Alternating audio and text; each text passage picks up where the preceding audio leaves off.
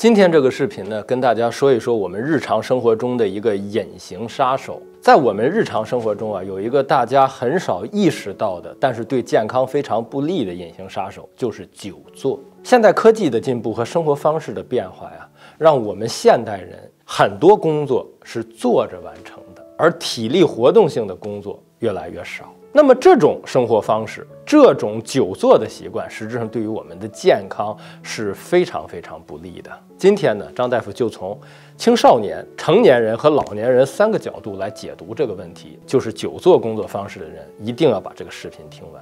咱们先说孩子们，儿童和青少年，也就是四岁到十七岁之间的人群，久坐会影响他们身体发育。也就是儿童青少年的身体发育，如果你坐的时间长了。第一个容易肥胖，第二个后期它的生长发育也会受到影响。而世界卫生组织的相关久坐的指南就指出，对于儿童和青少年人来说，一天六十分钟的中高强度运动是十分必要的。而且他特意指出，高强度的运动要优于中强度的运动，尤其是锻炼骨骼、锻炼肌肉的一些运动，它是比较推荐的。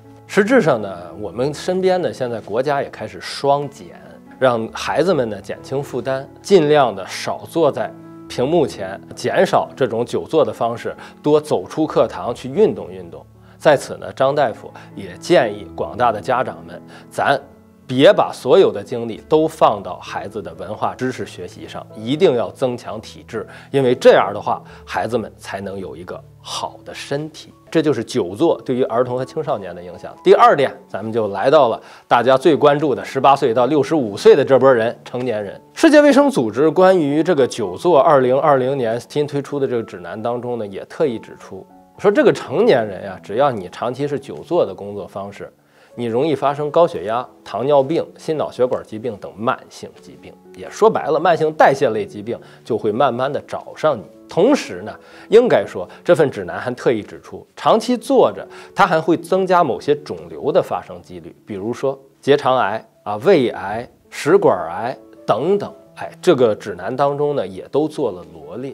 所以说，实质上从不同的角度来说，长期久坐的确对于健康非常非常的不利。至少我们成年人要有一个意识，就是呢，我们要定期的做体育锻炼，或者呢，在自己平时的工作当中啊，做的时间比较长之后，一定要起来溜达溜达。最新的这份世卫组织指南也指出，只要你动起来，就比坐着好。即使你动，你的体育锻炼的这个活动强度比较低。它也比你一直坐着、一直躺着要好，而且呢，这个指南当中呢也说，对于成年人来说，一天坚持。三十分钟的体育锻炼，一周做五次，也就是一周一百五十分钟的中等强度体育锻炼，相对比较合适。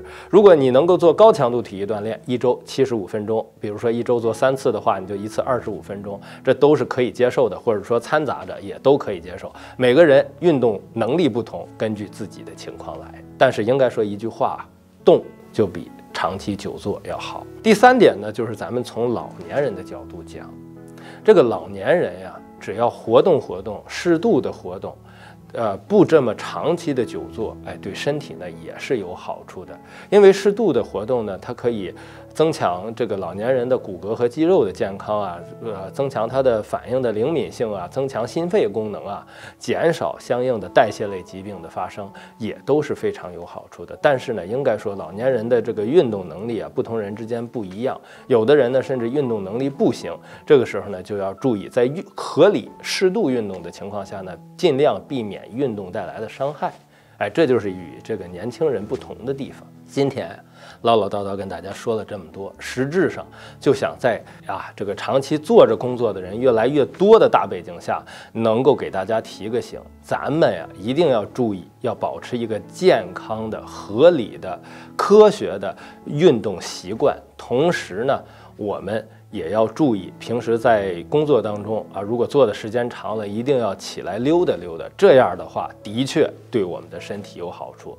希望张大夫今天的介绍能够帮到手机前面那些工作方式是久坐的人们。如果大家觉得好，可以转给身边有类似问题的亲朋好友。关注健康，关注心内科医生张志英大夫。